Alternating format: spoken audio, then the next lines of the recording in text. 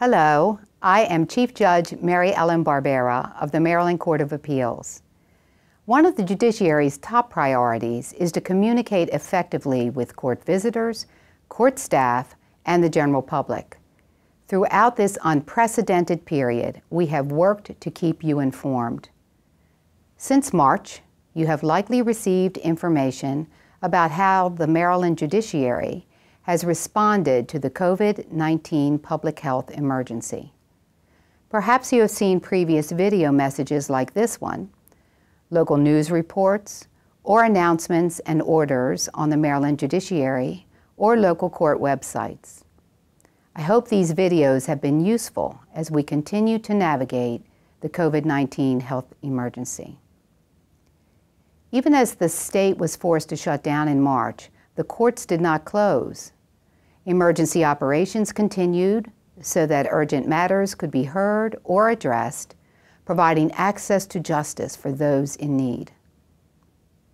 In June, I announced the judiciary's gradual return to full operations during the COVID 19 emergency. The judicial branch has moved deliberately and carefully through this phased resumption of operations. We have monitored positivity rates and incorporated the health protocols urged by the Centers for Disease Control and Prevention. Like you, judges and court personnel in Maryland's state courts have adjusted to the safety protocols as they were developed during the COVID 19 pandemic. On October 5th, the courts will enter Phase 5, in which the circuit courts will resume jury trials. This will mark the resumption of full operations. But let me be clear the COVID 19 emergency continues, and health protocols will remain in place until the CDC and Maryland Department of Health tell us it is safe to do otherwise. Trial by jury is one of the foundations of our justice system. It is a right guaranteed by the United States Constitution and the Maryland Declaration of Rights. And serving on a jury is a responsibility of all citizens. Jury trials require the assembly of large groups of citizens in order to allow the selection of an impartial jury. Doing this responsibly while safeguarding due process is a complex challenge that the leaders of the circuit courts have worked hard to meet. The courthouses of our 24 circuit courts are all different. Each circuit court has had to develop a plan for jury trials that would work for that court. Like the preparations for each of the previous phases, much work has been done to ready the circuit courts across Maryland for jury trials.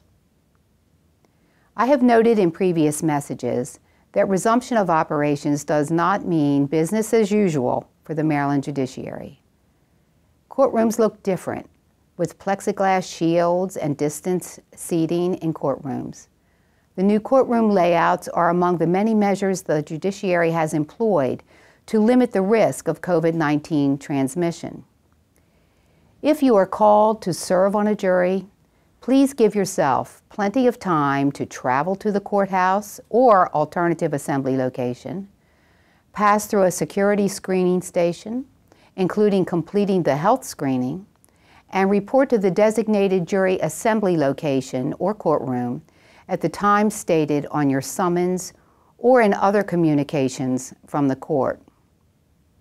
Those called for jury service can be assured that we will continue to safeguard as much as we reasonably can the health of the public, including jurors, judiciary personnel, and justice partners.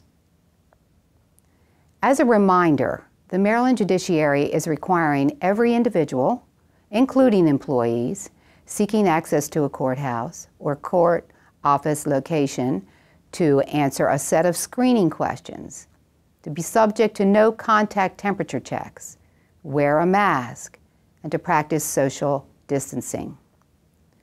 Although our practices necessarily have changed, the courts will continue to work to serve the people of Maryland to ensure fair and efficient access to justice.